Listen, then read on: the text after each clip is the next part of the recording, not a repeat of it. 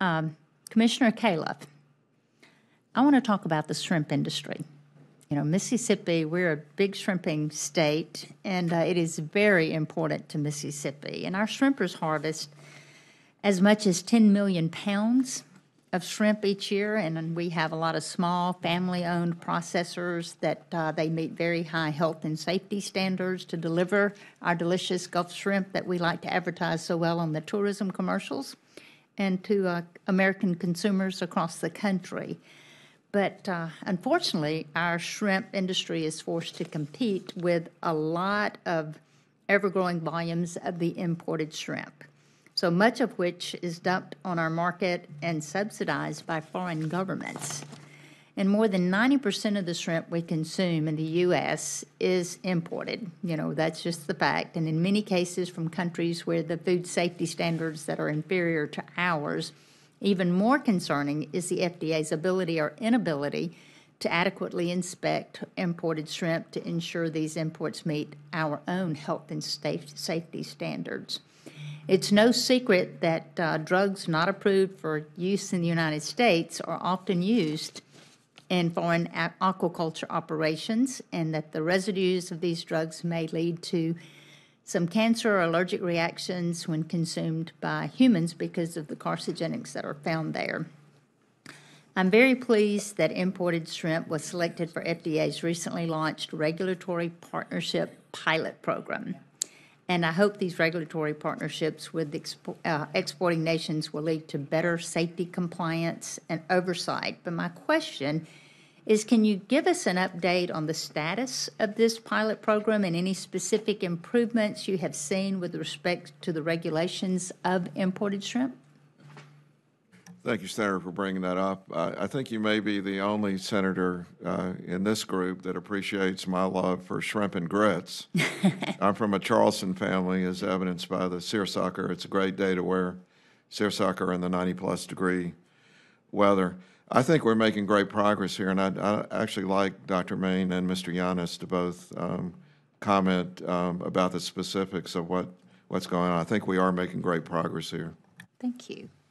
Thank you. And, and I will say we are grateful for the resources that we have received um, $6 million to help mm-hmm. uh, advance this work on, on imported shrimp and the safety of imported shrimp, and is directed in both FY21 and 22.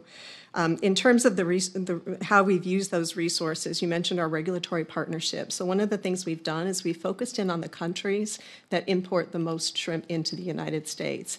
That includes India, Indonesia, and Ecuador, and we've been establishing regulatory partnerships with the government authorities in all three of those countries. A key part of these regulatory partnerships is also data sharing agreements, confidentiality commitments, so that we can share information that they can have about their their growers, their their producers. That's important for data that we can use for analytics as we look at prediction um, at imports and what we want to screen at imports. So that's one part of it, is the regulatory partnership piece of it. But there's more as well. Um, in terms of what we're doing with these countries, we've also been doing training. We have actually sent some of our, our seafood safety experts to these countries to improve the training around seafood safety with regard to shrimp. So we've been doing that uh, as well um, as, as the partnership agreements. The last thing I'll mention is we're using these new technologies at the border uh, to, to try to identify the highest rate of violative products using data and analytics. I'll turn it over to Deputy Commissioner Yiannas to discuss a little bit more about our predictive analytics using technology. Thank you. Yeah, well, thank you for that question. And we understand that American consumers want their food and shrimp to be safe regardless of where it comes from. Um, and so we're working on that, and the pilot has been very successful. Let me emphasize just a couple of things. On the regulatory partnerships, data sharing is going to be key. Can we get data from these regulatory partners and the entities that they're regulating to inform our risk prioritization efforts? So we're making progress on that. One other point that I'll make, make before we get to uh, our analytical approaches is we've invested some of those funds on analytical equipment. Some of these products, as you know, are aquaculture, um, and so there are drugs and residues that might be added, and we want to make sure that we can detect it. But I think the big thing that I'm very excited about is the use of data. Every single line of shrimp import that comes into the United States gets screened by FDA through something that we call the PREDICT system, and we're trying to leverage in this pilot work that we started earlier on a seafood AI pilot, where we're using the power of artificial intelligence and machine learning to strengthen our predictive capability of finding those violative products.